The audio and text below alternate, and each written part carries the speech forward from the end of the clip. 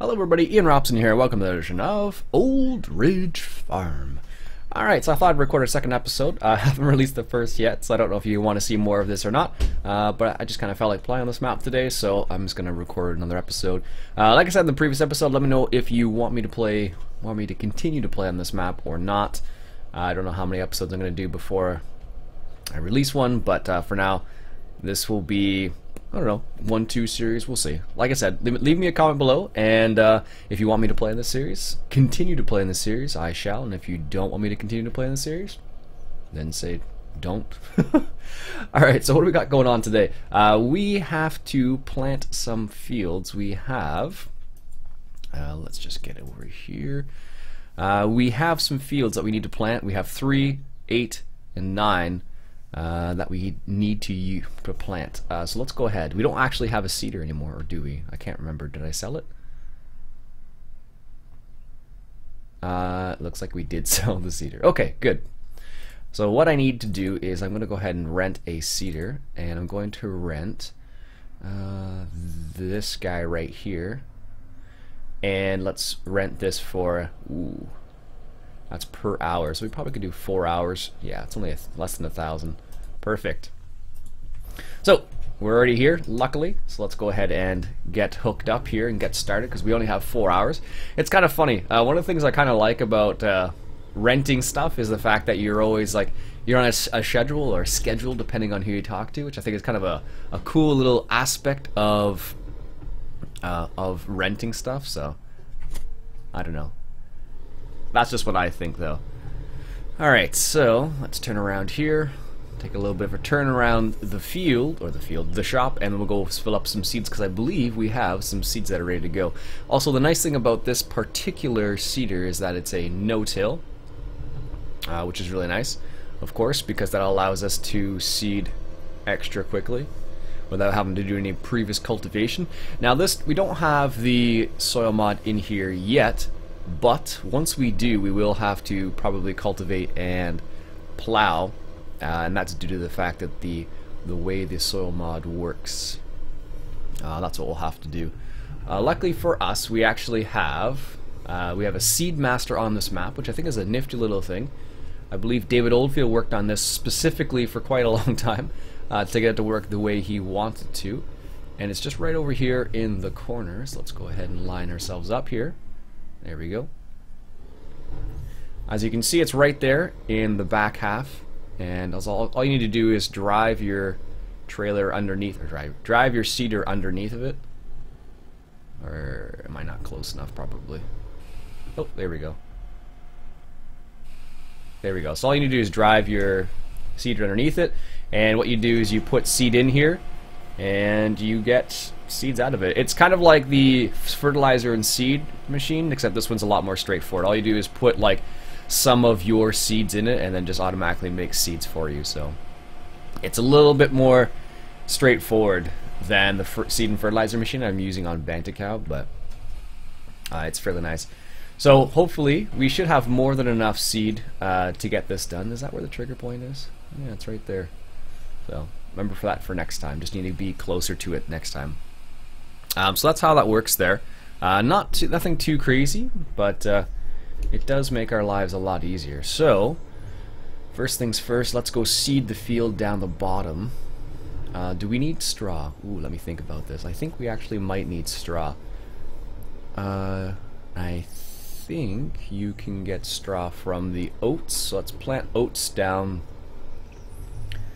the little field we have right down here which is kind of funny because the way it works is, um, as I mentioned in the previous episode, they actually want you to uh, bring the fields together, which is kind of cool because that's not necessary. Most uh, maps don't like encourage you to do that in the same sort of way as this one did, uh, which I think is really nifty because here it was like, this is a really good good idea if you do that. So that's grass. That's I don't need to spread that. That's alfalfa.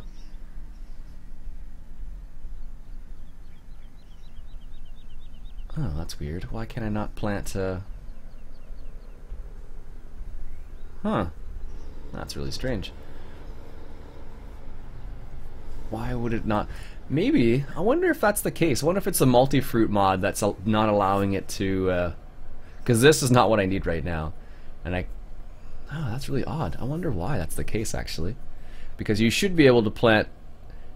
Because uh, let me just uh, clarify what I'm rambling on about. Oops, let's go into the shop. Now, I sus this, really shouldn't be the case, but this is what I think is happening. Uh, because this is a specifically modded seeder, it's accepting these seeds, which is from the seed master, uh, and but it's not it's not allowing me to plant the other crops. So, for example, on this map, you have I don't know why this is happening, but it's a really strange. Uh, where am I? This way. So on this map, we have soybeans, for example. I thought we had oats too, but maybe we don't. Must be my imagination. Um, so yeah, so I should be able to plant soybeans as well. So maybe that's only with a corn planter. Let's check this out. Let's verify this real quick. Uh, so this is a corn planter. Nope. Hmm. Weird.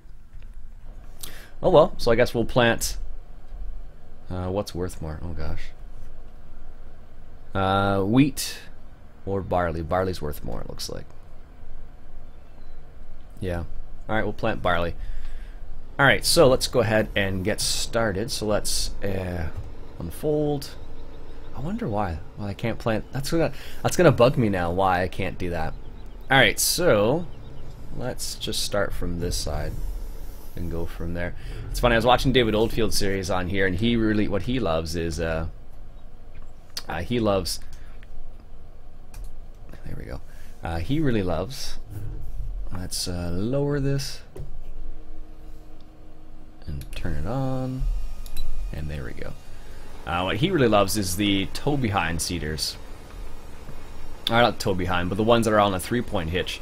So for him, for example, he wouldn't like this seeder because it's not uh, the typical type, like the type he likes. So it made me laugh when I was watching here series. I know why he likes it on this particular map, and that's primarily because of courseplay. So it was kind of funny when I was looking through that and just saying, "Oh yeah, that's uh, that's kind of interesting." So uh, that's the reason why. All right, let's raise it up. Make a turn here. One of the nice things about uh, using the GPS mod is that you do give yourself a lot. You can give yourself a lot of space to get things done. Although it looks like it's not properly... Oh, is it? No. There we go. I was gonna say, I'm like, it looks like it's a little bit too wide right now. Yeah, there we go. Oh well, we'll get that around next time. Yeah, that ever that happens every now and then. You don't uh, adjust it quite just enough, so you have to kind of like fiddle with it a little bit, but most times it's fine. Excellent. Yeah, but this is a... I don't know, I've been playing this map, like I said, for a while now, and I... Uh,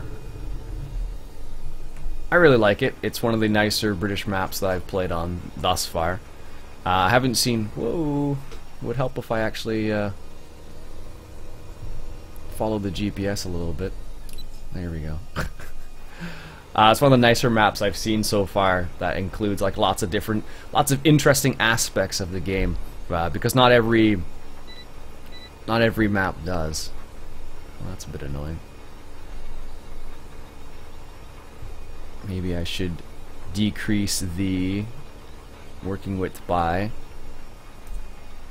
a little bit. What's the working width on this anyways? Is it 6.5? Ah, that's why. Why does it think it's 6.5? That's weird. There we go. Well, that's probably part of the reason why I was having problems. Alright. It's funny, I always wonder what what's the uh, what's the proper way of going about seeding sometimes, because everyone does it a little bit differently. Um, in this scenario, I probably don't necessarily need to do. Uh, to, I don't necessarily need to do headlands, but everyone would probably say, no, you should do headlands. No, you shouldn't do headlands. So I don't know. Uh, as far as I can tell, people do headlands after the fact normally, so uh, that's what I'm going to attempt to do here, uh, assuming I don't screw up the actual uh, setting on the width of my the implement I'm trying to use. There we go. Let's take a big old turn here. One of the things that uh, David Oldfield was working on that I was watch I was watching his Old Ridge Farm series, and one of the things he was watching or watching was doing uh, was he was adjusting the lockout on uh, the vehicles, on specifically the articulated vehicles, and I thought that was kind of interesting because that's one thing I noticed a lot as well. It seems like the lock when you turn left and right, it, it often seems like it's not quite enough, um, and it seems like it would be more in real life. So he was uh, tinkering with, I think it was a script, I want to say, that he was tinkering with, and uh, that was allowing him to turn a lot more. Oops. It was allowing him to turn a lot more. So, thought that was kind of interesting that he would. Uh, he's working on something like that. Now, this is so much faster than having to do it, having to cultivate first and all that jazz. Technically, I could do it with courseplay, really, um, but. I don't have many things on the farm going on at the same time because this is a small farm and it's also on hard as opposed to easy. So uh, basically I'm reminding myself how difficult uh, hard is in comparison to easy. So let's just get another strip over here.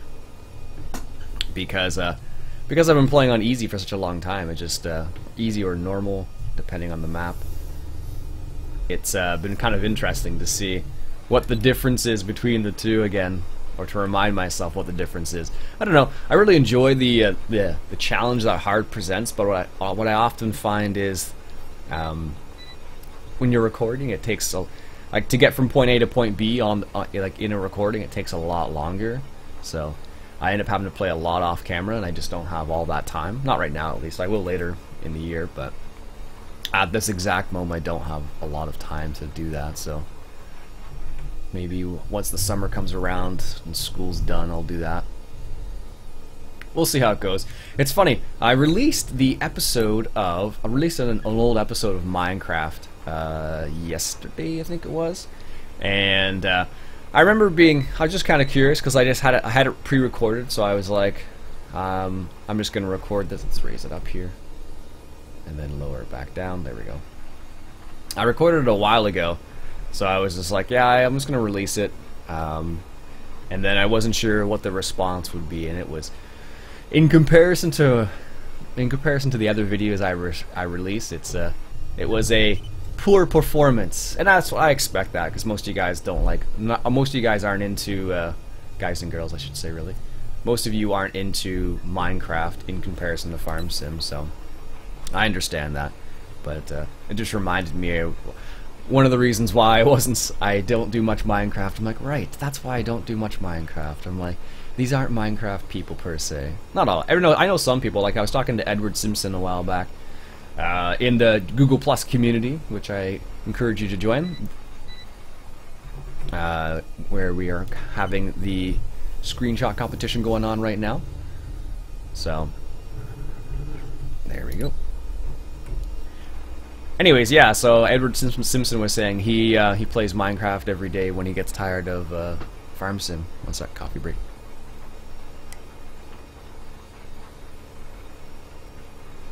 I have like fancy Starbucks coffee. That we ran out of coffee the other day, and my girlfriend was like, "Like, do you want to get coffee or shall I?" I'm like, "I, I have something to do, so you get coffee or something like that."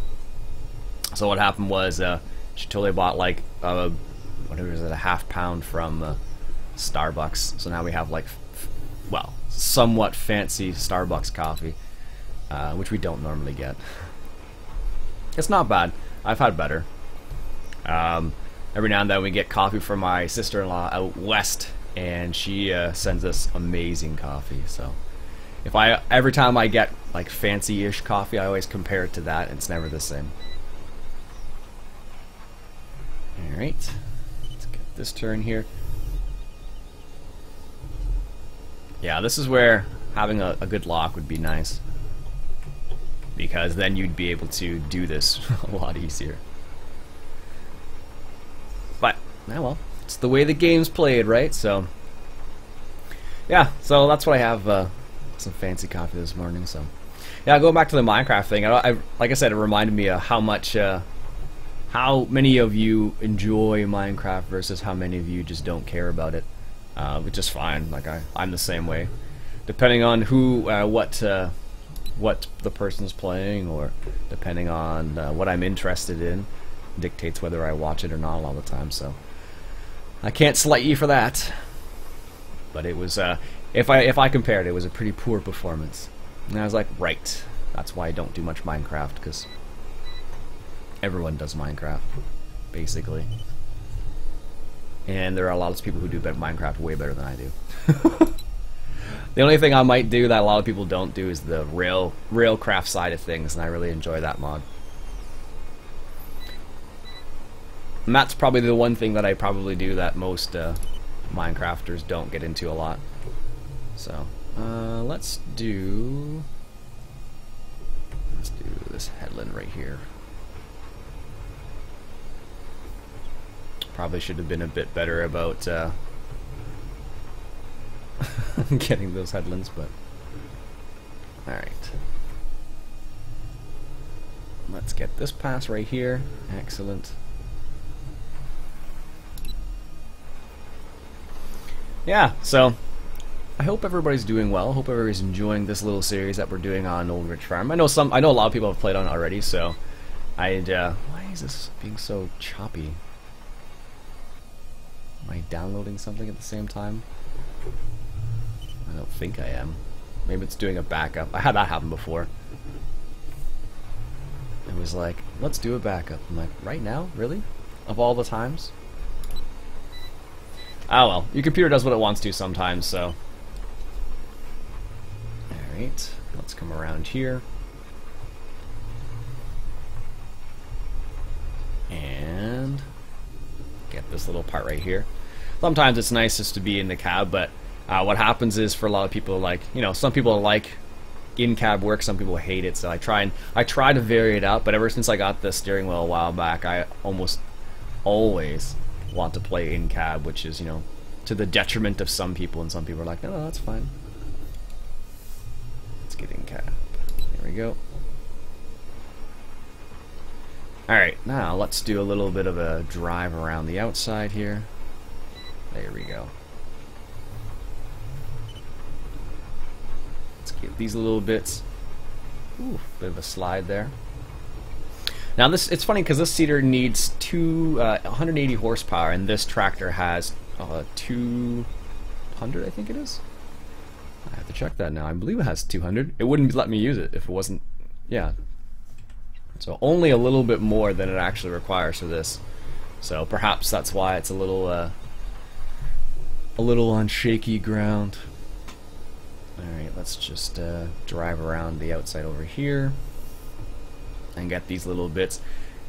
It's funny, when you compare how efficient you are versus how efficient uh, the computer is, for example, Courseplay or uh, Auto Tractor will do it as well. It it makes me laugh because of how inefficient I can be versus the computer. But it's because you miss bits and bobs. Alright, there we go. Let's get this turned around here. And let's continue on our way. There we go. Perfect. Well, not exactly perfect, but as perfect as I'm going to be able to get it at least. Alright, let's turn around. We're just going to leave it down. Maybe that's the key, just to leave the seeder down all the time, although probably not realistic in the sense that you wouldn't just leave it down and take a turn like that because it would just tear the tines probably on your seeder. I would suspect at least. I'm not an expert by a long shot, but uh, I have a feeling that that's what would happen if you tried to uh, just leave. Yeah, that's sliding around just a little bit. That's what I, I suspect would happen if you tried to do that, so...